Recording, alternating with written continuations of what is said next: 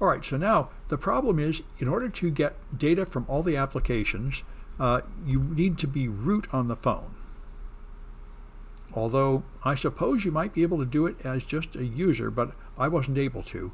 Because I copied all the system files too, so you might be able to actually get the user data just with the user's login. I'm not quite sure, but anyway, I did it by rooting the phone, or yeah, rooting the phone. So here's how you root it. This took me a while to figure out. Rooting the emulator, uh, the jailbreak communities have written an a root attack just for this. So you get this thing called the root AVD repository, and I'll show it to you. Uh, in fact, it's, here's the page. It's a GitHub repository written by hackers. It's not an official Google product. And here you are. You have to clone this Git repository. If you're on a Mac or Linux, you do it from the command line with git clone, and you git clone this URL. If you are on Windows, you download it as a zip file and unzip it. Both of them give you the same result. You'll get all these files from this online repository. So I'm on the Mac.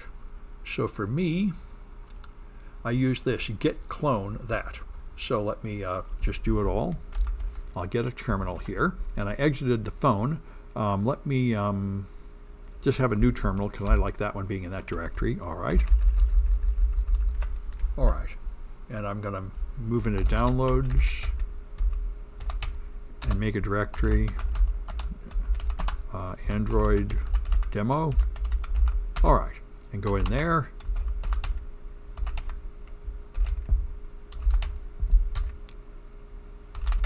All right.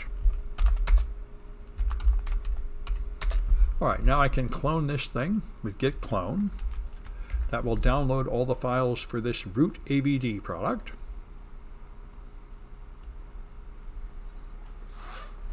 All right, put it in a folder called root AVD. So I go in that folder. And now if I do a list, I can see there's a few things in here. There's a Magisk. This is what we're doing. We're doing the Magisk bootloader. It's going to install this app named Magisk on the phone, which will give us root access. And uh, all right. Now we need ADB to work from any directory. Before I showed you, you can run ADB from this special directory with dot slash ADB. That's where it actually lives. And by the way, the other thing I wanted to mention, if you make a shell here, you are on the phone, but you are not administrator. If you were administrator, you would have a uh, pound sign there. If you do ID, you're just shell. And if you try to become the super user, it'll tell you that super user is not found, I believe. I'm surprised it's not answering more quickly. But anyway, I think it will. It's not going to let me do it because the phone is not rooted. And that's what we're going to fix. So here, um, we need ADB to work from any directory. And I've already got it working on my machine. I've installed it, so I can run it from here but you probably can't. So if that happens, you'll have to fix the path, and that's why I have instructions here, how to fix the path on the Mac and how to fix the path on Windows. So you can run ADB from any directory, which is necessary for this exploit. So now you use root AVD, and this uh, was a little confusing. All right, it's just freezing up on me. I'll just hit Control C. Anyway, it didn't let me in and exit from there. All right. So I don't need this one anymore. I'm going to work from this one. All right, so now I have root AVD. If I do ls, this is the program, root AVD, and here's the batch file to run on Windows, and here's the sh file to run on the Mac or Linux. So that's the one to use, dot slash root AVD.sh. And the first thing you do is list all Android virtual devices. That's what this means. And you get a lot of junk. Now what's going on here is you have to give a command. It's going to take the image of the operating system, this RAM disk.image, it's going to take the current RAM disk and patch it, adding more stuff to RAM, making a modified one, and install it on the phone. And so it has to get the uh, current, it has to have a clean, unmodified RAM disk, which it's going to patch. That's how the hack works. And those images from Android uh, Studio, they go here, Library, Android SDK, System Images, and they're in different location on Windows. So the product will notice whether you're running the Windows or the Linux version and show you where they are. So we just need to find the right one. And you may remember I did API 30 and 32-bit. So it is the Android 30 x86, which is up here. This is the one. So it tells you, it gives you an example of all the commands you're likely to run, and you can choose the right one, and that is the right one. Run the script, and here's the path to the root image of Android 30 x86.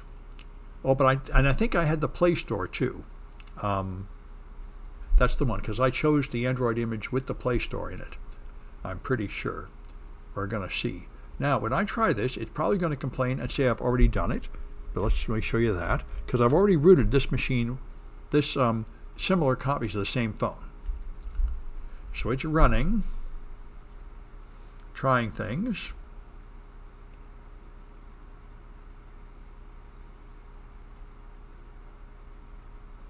Here's running the boot patch script.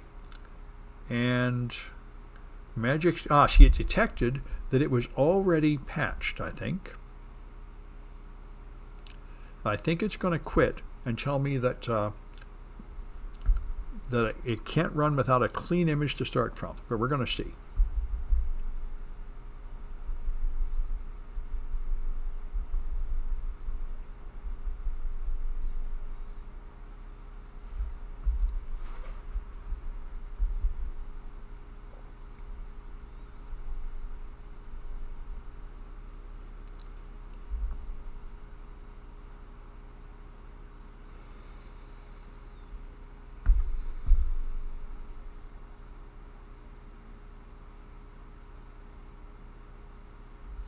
Well, let's see what the phone looks like. It's going to be uh, freezing like this. Oh, the phone's just sitting there. All right.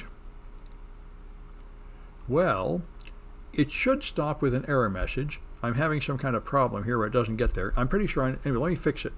If I repeat that command, if I look in this directory, I'm going to see, I think, what the problem is. If I do a ls of that, oops, control C, I do an ls of that directory,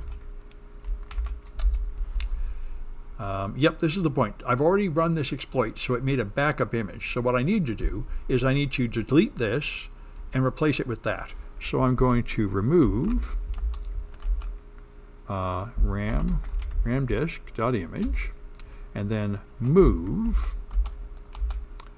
RAM disk backup to that thing without the word backup. There. That'll restore That'll put a clean version of the original RAM disk from Google there for it to start from. And now I should be able to run that exploit again. All right. And there it is. All right, let's see how it goes.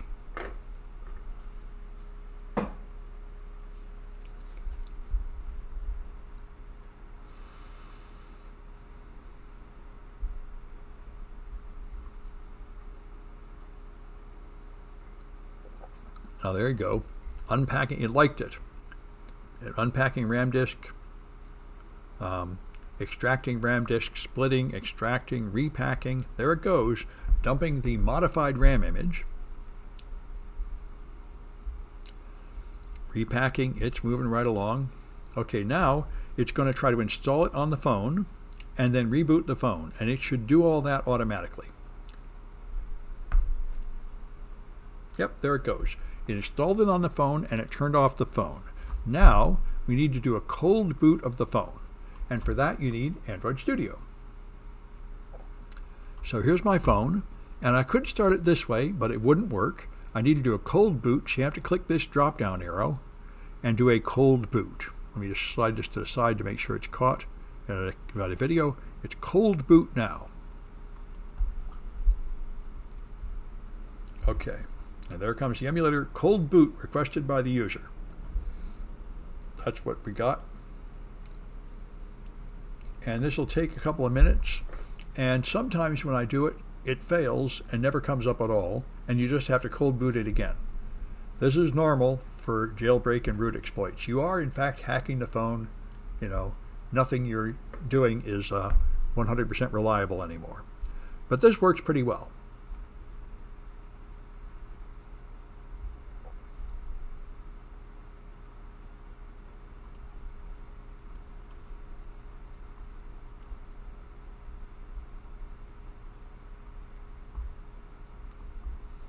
Right, we're down to there in the instructions.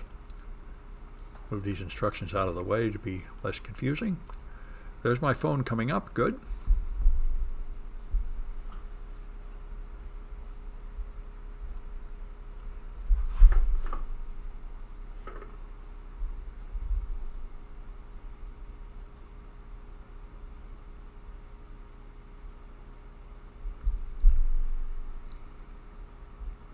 Now the next part is easy, but if you fail, the fix is irritating. So now you go into the shell, ADB shell, and as you see, I'm on the phone, but I'm not root. Now make sure you can see your phone because you only have 10 seconds to do this. When you try to elevate to super user, it's going to ask me for permission on the phone, and you have to say yes. And if you wait too long, it will deny you permission, and that's annoying to fix. So let's give SU. It pops up asking for permission. Now the easiest thing is if you remember to say grant. Now I'm going to deliberately fail here just to demonstrate how to fix it because that happened to me the first time. Okay, now I didn't answer soon enough, so permission was denied. Now if I try it again, it's going to not let me in. Permission is denied. Now, it, that's, yeah, here now it says, oh no, it's, oh, need it, give me another chance. Oh, good. Well, that's an easy one. Okay, Anyway, I'm going to um, show you how to overcome it even if that doesn't happen. This happened to me before. Uh, and you open Magisk, and I had to approve it in here. Um, what I did, it says you need additional setup, so I did this. And that's going to, I think, reboot the phone. Yep, And then I updated Magisk to the latest version because I was having trouble making things work. And I'm not sure that's necessary, but when I did, then uh, there was an option there to uh, approve the, to reapprove the uh, SU request. But we'll see. However, you may not have that problem. All you have to do is try again and it pops up again. That is not what happened to me before, but I already had Magisk running.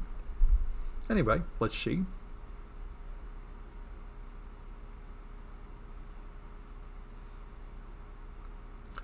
These uh, exploits come with really miserable instructions. So you kind of just have to play around and try things.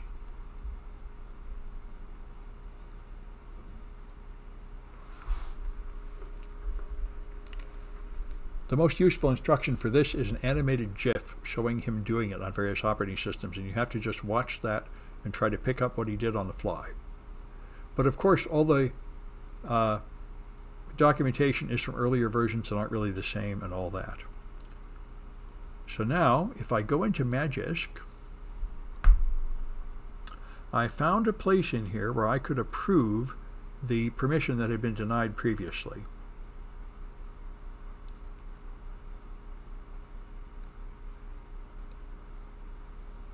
And it was down here but I'm not seeing it now. I think if I update, it will be there. There's some more options, but none of this. Super user, there we go. Yes, there it is on the second page. Good. Actually, I think super user access.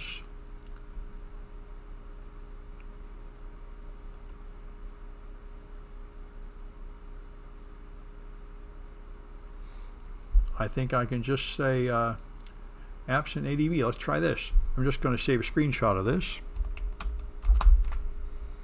Add to the project, I think. All right, I'm going to say apps and ADB. All right, let's see if that did it. Now if I try to do S, SU, permission denied. Okay, that didn't help. Um, here's the request timeout. Super, ah, shell was denied super user rights. There it is. Okay, it's here. Super user notification. There we are. Uh, cancel. Okay. Uh, request timeout. I super user access. I uh, maybe it's this. Well, um,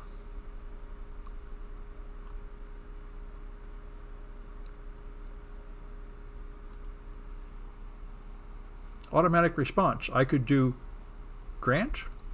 Maybe that would do it. Nope. All right. Well.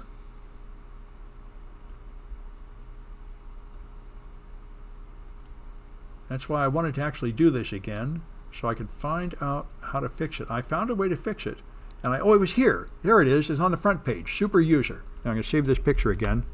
I'm going to add this to the project. It's right there, super user.